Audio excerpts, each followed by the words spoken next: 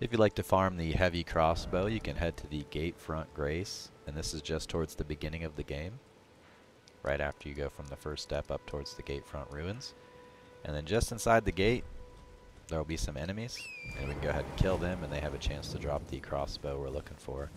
I have my drop rates turned up so that you guys can see the item dropping. It might take a few more kills than for me, than for you, but these guys do drop the heavy crossbow, right there.